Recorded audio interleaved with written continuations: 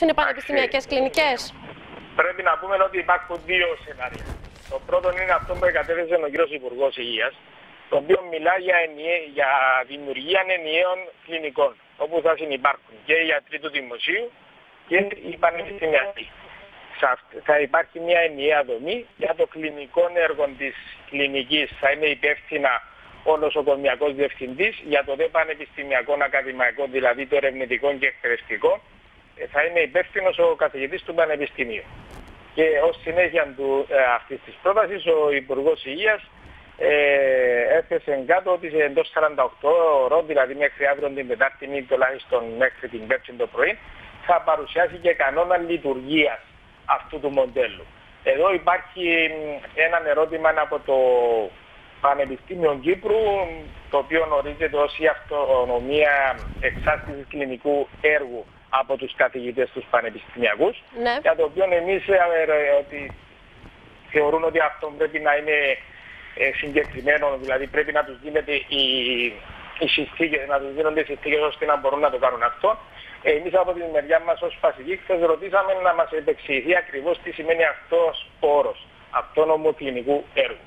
Αυτό είναι το ένα. Την ίδια στιγμή υπάρχει και το, ένα άλλο σενάριο, η δημιουργία ξεχωριστών κλινικών. Δηλαδή, οι κλινικές των δημοσίων νοσηλευτηρίων παραμένουν ως έχει και παράλληλα δημιουργούνται καθαρά από το Πανεπιστήμιο πανεπιστημιακές κλινικές.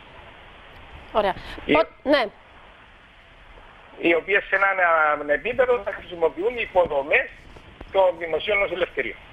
Το προτιμάτε αυτό το σενάριο, κύριε Κούμα, να είναι διαχωρισμένα τα πράγματα; Ε, πρέπει να είμαστε ειλικρινείς. Οι προτάσεις, τουλάχιστον οι γενικές αρχές που καταθέσαμε εμεί ω συντεχνία και στο Κοινοβούλιο και ακο- ε, μετέπειτα προς το Πανεπιστήμιο, ως γενικές αρχές, το τονίζω αυτό, κινούνται περισσότερο προς το ε, ενιαίο.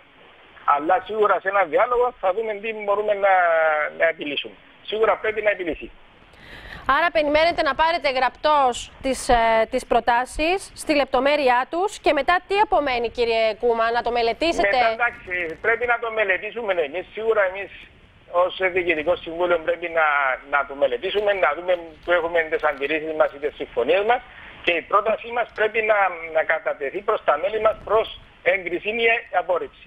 Έτσι είναι ο τρόπος που δουλεύει η συντεχνία. Πρέπει να γίνει κατανοητό ότι τα, οι ιατροί μας οι οποίοι θα καλεστούν να εφαρμόσουν ή το Α ή το Β ή πρέπει να είναι ε, ενη- να ενημερωθούν και να πάρουν τις αποφάσεις τους. Ναι.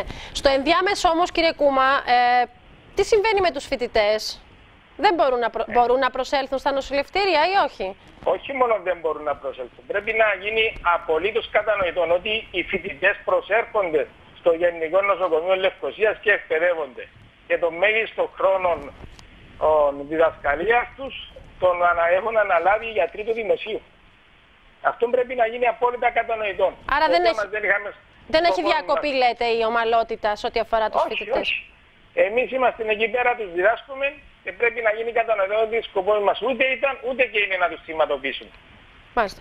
Ανα... Ανεξαρτήτως τι θα εγκριθεί, εμείς αυτό που λέμε είναι ότι τους, θα τους διδάξουμε.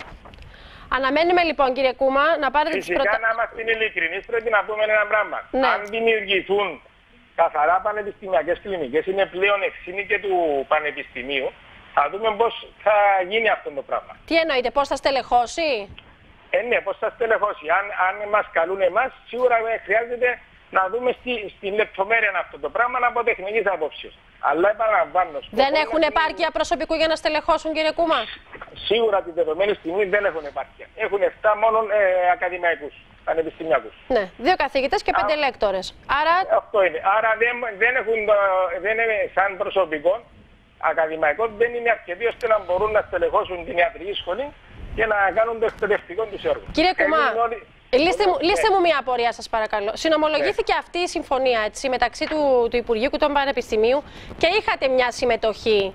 Δεν, Ε, είχαμε, κυρία- δεν είχαμε καμιά συμμετοχή. Στις συζητήσεις δεν είχατε καμία συμμετοχή; Γιατί το Πανεπιστήμιο όχι. ισχυρίζεται ότι είχατε, ήσασταν παρόντες στις συζητήσεις. Δεν είμαστε, η, συ- η συντεχνία δεν ήταν παρόντες. Υπήρχαν πέντε συνάδελφοι του Δημοσίου, οι οποίοι είχαν Μάλιστα. διοριστεί από τον έντιμο Υπουργό Υγείας Μάλιστα. ως συμβουλευτική επιτροπή προς αυτόν. Ωραία. Εμείς δεν είχαμε Αυτή η καμία συμβουλευτική απολύτως. επιτροπή, αυτή η συμβουλευτική επιτροπή των συναδέλφων σας από το δημόσιο. Αυτά Ναι. τα πράγματα δεν τα ήξερε τότε, για παράδειγμα τη μη επάρκεια στο ακαδημαϊκό Ναι, προσωπικό; Νομίζω θα ήταν καλύτερα να τους ρωτήσουμε τους ίδιους. Εμείς δεν γνωρίζαμε τίποτε. Γι' αυτό και αντιδράσαμε αμέσως. Πρέπει να πω ότι όταν είχαμε ε, αντιληφθεί ότι θα γίνεται, ε, υπήρχε ένας διάλογος, άρχισε ένας διάλογος, εμείς έγκαιρα αποστήλαμε επιστολές προς όλες τις πλευρές και τους καλούσαμε να μας να μας καλέσουν στον διάλογο. Να καταθέσουμε αυτά που καταθέτουμε τώρα.